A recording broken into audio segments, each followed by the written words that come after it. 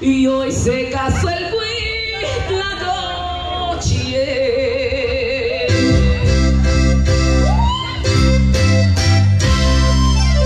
Con unos racas famosas.